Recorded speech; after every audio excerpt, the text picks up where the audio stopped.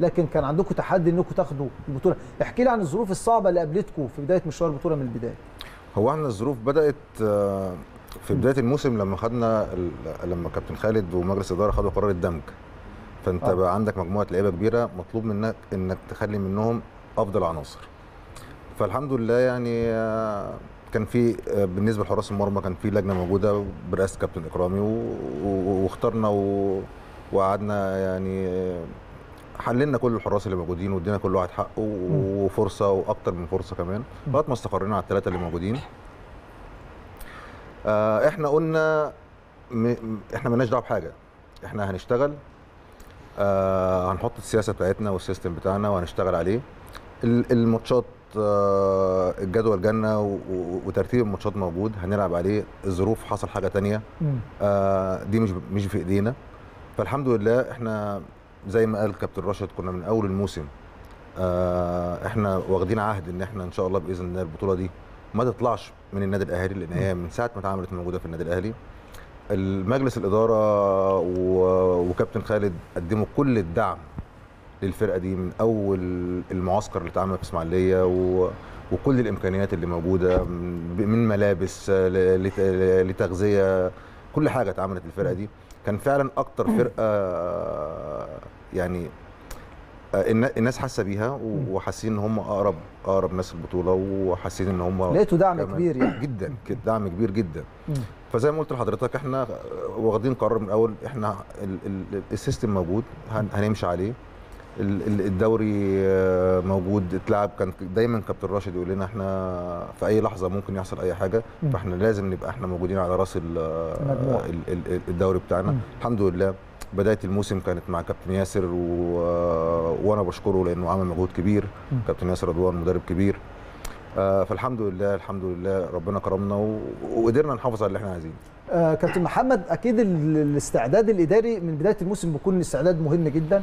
كل اللاعبين في المنطقة وكمان التحضير لكل مباراة الشق الإداري شق يعني بيكون فيه اهتمام كبير جدا وفيه شغل وتعب كبير تمام هو في الأول كنا عملنا لما عملنا دمج بين 2002 و2001 آه فعلا كان في مرحلة صعبة جدا اللي إحنا عندنا 29 لاعب من 2001 مم. و33 لاعب من 2002 مم. ومحتاجين نوصل لتشكيل ما.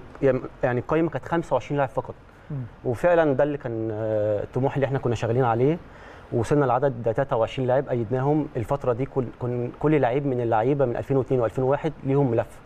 طلعنا كل الملفات طبعا. آه، طبعا كان في رأي فني طبعا وكان في لجنة علشان فنية. تدمجوا الفرقتين مع بعض. آه آه عشان ندمج الفرقتين. وغير كده بعد ما تم دمج الفرقتين طبعا تم ركيد اللع- اللعيبة اللي هم كانوا 23 لاعب. من من قائمه 25 مم. آه طبعا من ضمن 23 طبعا في اثنين طلعوا أعراض. طبعا آه، عربي بدر ربنا يوفقه وشادي شادي رضوان آه. وفي اثنين الحمد لله درجة أولى دلوقتي حمزة علاء وأحمد آه، نبيل كوكا. آه. وقابلنا طبعا ظروف صعبة خلال الموسم إن في لعيبة طبعا إصابت. في محمد خالد جاله صليبي آه. من بداية الموسم. مم. في بدأنا الدوري وفي ست لعيبة في المنتخب مصر. ما كانوش معانا. يعني إحنا كان التشكيل ما كانش بيوصل ل 13 واحد وكان آه. معظم اللعيبة كله مش موجود. آه آه كنا 13 واحد بالظبط 2001 والباقي كله من 2003 مم. بس برضه كابتن خالد كان بيحفزنا كابتن خالد بيبو آه. لازم البطولة. لازم نطلع لعيبة درجة أولى وفي وسط اللي إحنا التحدي ده لازم ناخد البطولة برضه رجالة عشان إحنا الحمد لله رب العالمين من- يوم ما أنا اشتغلت مع الفريق من لو حضرتك لو فاكر يا كابتن أسامة طبعا. من 2017 2018 آه. كنت مع حضرتك في أول بطولة جمهورية مع حضرتك كده ودي الحمد لله رب العالمين ثلاث بطولات جمهورية ما شاء الله كمان عامل شغل كويس وأنا استعرض لك دلوقتي الجداول. وترتيب الفرق والشغل بتاعك اللي أنت محضره على مدار آه، الموسم ربنا يخليك زي ما إحنا بنتكلم على الملف الإداري برضه لا يقل أهمية الملف الطبي خاصة دلوقتي علشان تعد ناشئ للفريق الأول ويكون حاجة للمستقبل لازم تهتم بيه طبيا. النادي الأهلي دايما بيتبع يا دكتور محمد الأساليب العلمية. في قياسات قبل الموسم قياسات بعد الموسم. كلمنا عن توفير الإمكانيات الطبية كمان للاعبي الناشئين في قطاع الناشئين بالنادي الأهلي. هو إحنا الإمكانيات الحمد لله متوفرة من بدري. إدارة النادي كابتن خالد موفر لنا كل حاجة السنة دي. الموسم ده كان موسم استثنائي بسبب موضوع الكورونا. ان إحنا بادئين الموسم في معدل الحالات كان عالي وإن إحنا كان مهمتنا إن إحنا نحافظ على اللعيبة لغاية آخر آه. السنة إن إحنا ما نتعرضش لل... إن يبقى عندنا إصابات منها في القصة دي. الحمد لله رب العالمين قدرنا إن إحنا ننجح في مهمتنا بشكل كبير. عدينا الموسم على خير بدأنا الموسم زي كل سنة إن إحنا عاملين نظام تسجيل للاعبين عندنا لكل لعيب ملف طبي في النادي حاليا. آه. بنعمله من أول ما دخل النادي. آه. الإصابات القديمة بتاعته سواء لو جينا من نادي بره أو لو موجود عندنا من البداية أي إصابة لا قدر الله بتحصل له. الوزن الطول التكوين الجسماني بتاعه القياسات العضلية بتاعته قياسات الرئة والساعة الحيوية بتاعته رسم القلب. زي الدرجة الأولى بالظبط إحنا السيستم ده إحنا ماشيين كل عليه. الإمكانيات موجودة. بيوفرها. موفرها لنا النادي الأهلي سواء بالأجهزة سواء بالإمكانيات سواء برئيس اللجنة الطبية دكتور أسامة مصطفى معانا كل يوم في القصة دي.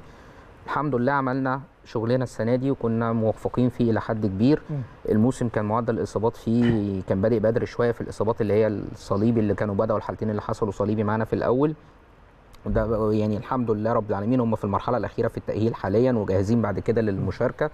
بقيه الإصابات اللي هي الإصابات المعتادة الحمد لله في موضوع الكورونا إحنا الدنيا كانت كويسة جدا عندنا برضو عندنا اجراءات احترازية في قطاع الناشئين وفي وعي يومياً. للولاد و... كان يوميا بيتقاس درجة الحرارة لكل لعيب أدوات الوقاية موجودة قبل وبعد التمرين. بنتابع العلامات الحيوية يوميا للفريق كله أي لعيب كان بيظهر عليه أي حاجة إحنا كنا بنتعامل معاه بمنتهى الحرص من البداية والحمد لله رب العالمين. عندنا الموسم على خير وخدنا البطولة تمام. كابتن سيد نتكلم بقى معاك فني. فني بقى بطولة قوية بطولة 2001 بطولة بطولة جمهورية بطولة شكلها عاملة زي الدوري الممتاز. لكن السنة دي اختلفت شوية لما عملوا مجموعتين لكن المباريات تظل قوية زي مباريات الدوري الممتاز. ما شاء الله النادي الأهلي في التصفيات النهائية دلوقتي وأنا بقرأ ال- ال- المباريات النهائية النادي الأهلي ما فيش غير خسارة مباراة وحيدة أمام سيراميكا كليوباترا وكل المباريات فوز على بيراميدز على الاتحاد السكندري على الإسماعيلي على إنبي طلائع الجيش الجونة. وتعادل في المباراه الاخيره مع المقاولين اللي حسمتوا فيها بطوله الدوري. كلمنا بقى عن المنافسه في البطوله وقوه بطوله 2001 بص يا كابتن هو فرقة 2001 البطولة دي أقوى بطولة اتعملت السنة دي. آه. آه، أنا بقول بقول عن الفرقة اللي إحنا لعبناها كلها معاهم مدربين كويسين. مم. معاهم آه، معاهم مدربين كويسين. إحنا اشتغلنا كويس قوي. السنة دي اشتغلنا بسيستم م- معين. آه. اشتغلنا على اللعيبة. آه، حللنا كل لعيب.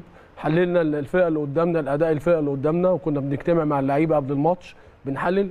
عملنا ربط بيننا وبين الدرجة الأولى. يعني استنى أنا بس عايز أقف عند نقطة قلتها. أنت النهارده بتشتغل على الفرق الثانية برضو؟ عندك تحليل أداء بتحلل الفريق اللي أنت هتقابله سواء آه، بيراميدز أو المقاولين أو إنبي نفس شغل الفريق الأول والدرجة الأولى. بص يا كابتن إحنا آه. الحمد لله يعني الحمد لله الكابتن تامر موجود. إحنا كنا بنجيب الفرقة الثانية كويس. قبليها بيومين ثلاثة بنحللها بنجيب ال- الفيديو ونقعد اللعيبة معاهم. بنتكلم عليهم كويس قوي بنشوف نقط الضعف اللي فيهم إيه ونقط ال- القوة اللي فيهم إيه واشتغلنا عليهم. آه، اللعيبة حسوا إن هم بي- بيتمرنوا مع مع مدرب في الدرجة الأولى. السنة دي. لما طلع الدرجة الأولى آه، عندنا خمسة ستة طلعوا شافوا نفس الشغل. الشغل بتاع الدرجة الأولى بيجيب الفرقة الثانية بيحللها. غير بقى تحليل الأداء بتاعنا إحنا. إحنا بنشتغل على التمرين بنشوف التمرين إحنا بتاعنا إيه اللي اتعمل فيه بنشوفه يوم الماتش إيه اللي اتعمل وايه اللي ما اتعملش فبنحاول نعمله.